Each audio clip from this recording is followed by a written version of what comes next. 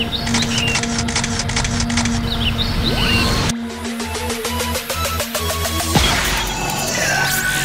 is Space A.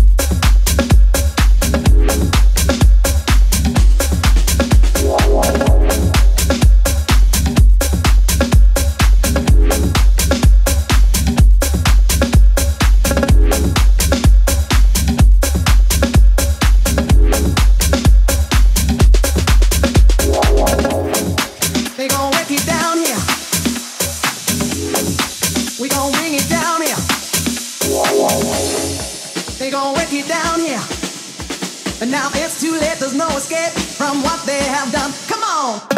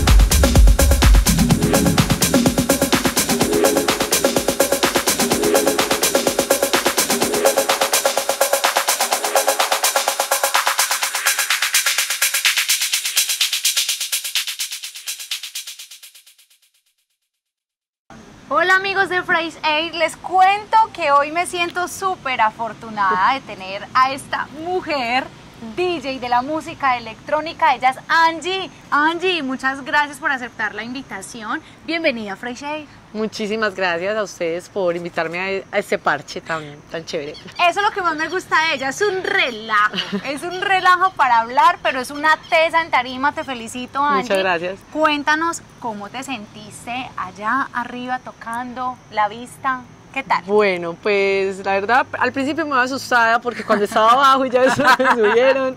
Bueno, que- pero no, muy, muy cómoda y pues espero que a ustedes les, también les haya gustado bastante el set. ¿Has tenido de pronto alguna oportunidad de tocar en otro ambiente al aire libre o más que todo han sido eh, disco, clubs y demás? No, sí, también he tenido la oportunidad de tocar en espacios abiertos, en la playa, eh, en Cartagena, Buena Vida. me ha gustado mucho, pero la verdad, pues sí me gusta mucho más el club.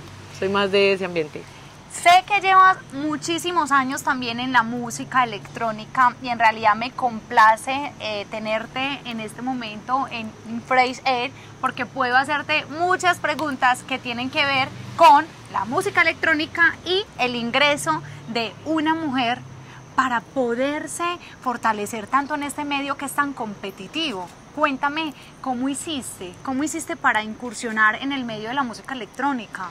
Angie. Bueno, pues la verdad cuando yo empecé eh, éramos muy pocas las mujeres DJs, pero la verdad todas siempre yo a, mi punto de vista y en mi, eh, en mi, pues, eh, lo que me pasó a mí, con mucha aceptación. Pero la verdad nunca sentí pues como, como esa rivalidad o que hasta los hombres o las niñas o algo, no, siempre pues tuve como aceptación, a pesar de que en mi, como en mi grupo pues eh, de DJs o de amigos, eh, siempre todos me apoyaron, me ayudaron y, y siempre fui pues como la única niña, pero con las demás también, no, nunca pues como que hubo eh, algo negativo siempre. Y en cuanto al público, aceptación de inmediata. Sí, sí, la verdad sí. Pero es que Angie, la que es buena es buena y no hay nada que hacer. Ella se encaramó en la tarima y me la gocé de principio a fin, Angie. Ahora podamos, podemos contarle a las chicas que en este momento quieren eh, ingresar en, en- en la música electrónica, hacer DJ y todo esto. ¿Tienes algunos consejos para ellas? ¿Algunos tips que tú hiciste y te funcionaron? Pues yo pienso que la verdad pues hay espacio para todas. Sí. Si en realidad es lo que te gusta y te apasiona, o sea, si vas a entrar es porque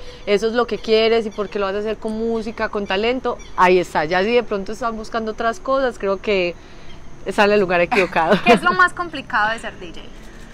Ay, conectarse con el público. A mí, pues la verdad, siempre me da mucho susto. O sea, la verdad, yo me monto y siempre soy paniqueada. Entonces, como que ese lapso en el que ya de pronto me suelto, para mí es como de lo más difícil, porque siempre estoy así, súper Tensa, esperando la Haya- respuesta sí, del Haya público. una persona, mil, las que sea, siempre, siempre soy, siempre siento esos mismos nervios y esa, cuando como que soltarse y ya, eso me parece como lo más difícil, pero es lo que más disfruto. Qué rico que le podamos contar a todas las personas, Angie, que en este momento te están viendo, cuál ha sido tu trayectoria. O sea, no estamos hablando chicos y chicas de 5 años, ni de 7 años. Aquí donde ustedes ven a esta mujer, lleva el tiempo de los tiempos en esta práctica y en este profesionalismo del medio. Contemos un poco acerca de tu trayectoria, Angie. Eh, llevo más o menos 12 años de, de carrera. ¿cierto? impresionante, sí. Eh, en mi carrera hace más o menos dos años eh, una transición, un cambio de nombre y pues es algo que, o sea, la- de los mismos tiempos que llevo eh, me fui como encontrando, Sí. me fui encontrando y siento que apenas hace este, este tiempo como que por fin digo yo, listo, ya, ya como que esto es, esto es lo que quiero, sé para dónde voy y ahí sigo, sigo como en ese proceso y en ese crecimiento de seguirme encontrando. Cuando tienes o mencionas acerca de hubo un cambio de nombre, ¿te Sí. refieres a?